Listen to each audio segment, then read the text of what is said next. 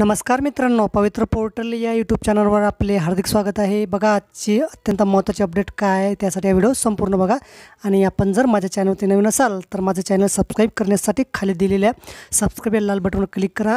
आणि समोरील बेल आयकॉनवर सुद्धा क्लिक करायला विसरू नका जेणेकरून तुम्हाला नवीन अपडेट मिळत राहतील. तर चला व्हिडिओ सुरू करूया.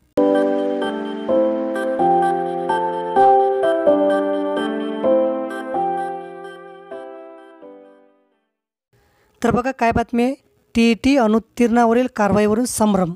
टी ई टी अनुत्तीर्ण शिक्षकांची सेवा समाप्त करण्याचे आदेश प्राथमिक शिक्षण संचालनालयाकडून चोवीस डिसेंबरला देण्यात आले होते परंतु या आदेशाचा गैरफायदा घेत खाजगी शैक्षणिक संस्थाकडून शिक्षकांच्या सेवा समाप्तीचे आदेश काढण्यात येत होते. त्यामुळे प्राथमिकचे शिक्षण संचालक दत्तात्रय जगताप यांनी संबंधित संस्थांना थेट आदेश काढू नयेत असे आदेश दिले.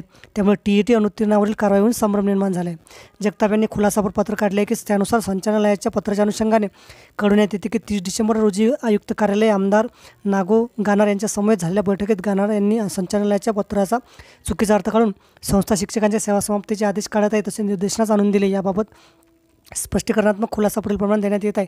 खाजगी शाळांमधील शिक्षकाबाबत परिपत्रकामधील निर्देशानुसार विभागीय शिक्षण उपसंचालक यांनी सुनावणी घेऊन शिक्षकांच्या शैक्षणिक व व्यावसायिक पात्रतेबाबत शहनिशा सेवा समाप्तीचे बोलके आदेश पारित करावेत. विभागीय शिक्षण उपसंचालक यांच्या आदेशानुसार संबंधित संस्थेने शैक्षणिक व व्यावसायिक पात्रता नसलेल्या शिक्षकांच्या सेवा समाप्तीबाबत कारवाई करावी. परस्पर कोणते आदेश संस्थेने काढू नये.